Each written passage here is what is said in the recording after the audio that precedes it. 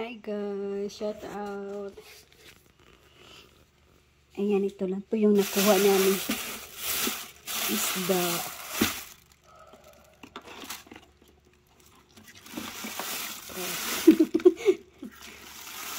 Nawala na yung eyes. Bilangin ko muna.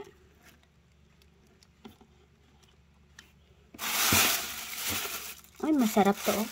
Kailangan ko pala to ano. Sa labas ko pala to linisin. One, two, three, four, five, six, seven, eight, nine.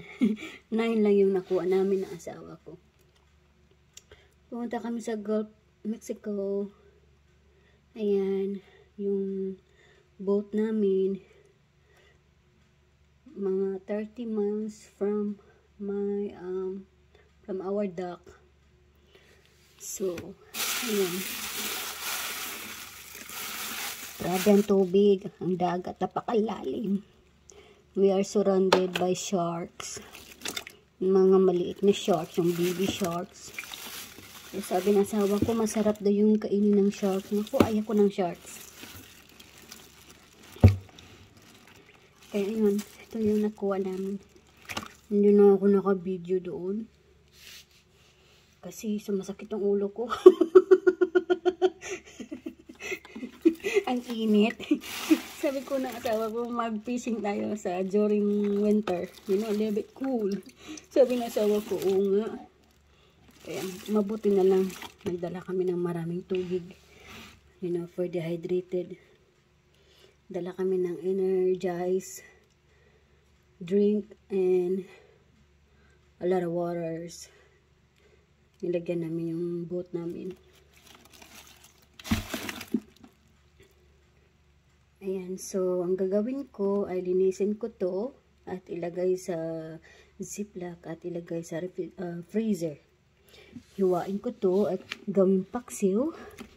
Ito, oh, masarap to. Ay! Ito, oh masarap to iprito masarap to iprito o iskabichi o ipaksi o lagyan ng sinigang. You know sampalok ay naku.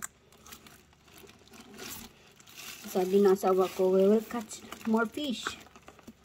Para daw sa akin. Napaka-cute ng asawa ko. Ayan guys. Linisin ko na to at ilagay na sa freezer. Tsaka magluluto ako ng siguro tatlo or apat. Gawin kong paksiw. Tsaka yung iba ipiprito ko para ipatikim ko sa asawa ko. Pero ayaw ko talaga pakainin ng asawa ko pag may mga buto-buto. Alam mo na, ayaw ko na may buto-buto. Pag ganyan ah, sa asawa natin. Kasi ayaw po na maano yung asawa ko. Hindi sanay kumain ng isda. I have to be careful. Alright guys. Ganito po siya guys. O ilalagay ang isda. Nalala ko yung maliit pa ko. Yung ano pa kami. Na doon lang kami mangingisda sa lugar namin. Para lang may makain. Nalala ko po ito. Oh. Tsaka napakahirap mangingisda sa amin. Doon nung ano pa kami. Yung sa dagat namin.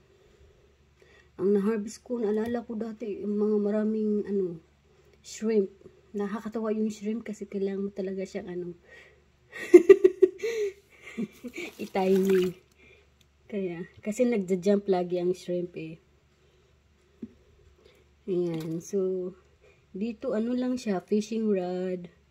Pero nakakatuwa po talaga mag-fishing. I love fishing talaga. Ayan, Sir Andrew. Sir Andrew 05. Mahilig po ako mangingisda. I love fishing po. Ayan. Ito na po yung isda mo. bye bye guys. Mamwa.